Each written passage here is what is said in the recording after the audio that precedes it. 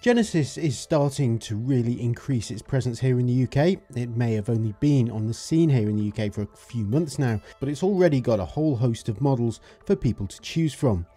The latest to join the range is this, the GV70. It's a mid-sized SUV designed to take on the likes of BMW's X3 and the Mercedes GLC. So let's see what it's got to offer. The exterior of the GV70 is particularly strong. There are plenty of eye-catching elements to talk about, from the intricate grille design to the split-style headlights, which have been designed to mimic the wings of the Genesis badge. Around the back, this is continued, with that split-style design being used once again for the rear lights. It's a really accomplished design and one which does stand out from the norm. Genesis is endeavouring to be a premium brand and this is really evident in the cabin.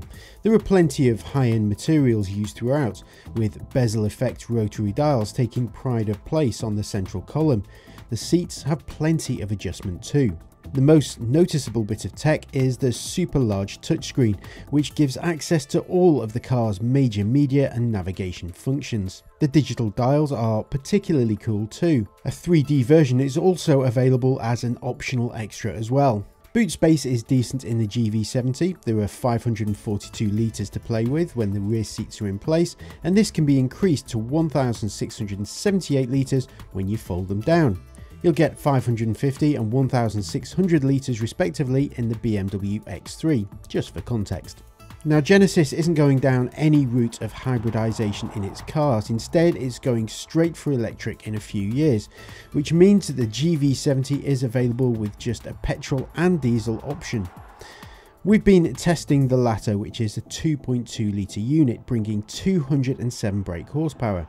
It allows the GV70 to go from 0 to 60 in a reasonable 7.7 seconds, while you'll see 133 miles per hour flat out. All GV70 models pack all-wheel drive too, while Genesis claims you should see up to 42.3 miles per gallon combined. Now the GV70 is a genuinely credible alternative to the usual suspects in the SUV segment, with a classy interior and a punchy pair of engines. It feels like the real deal, while a good level of standard equipment means that it represents excellent value for money against its competitors. At £39,450, a GV70 significantly undercuts many of the other cars in the class, and it's for this reason, among others, that many people will be attracted by it.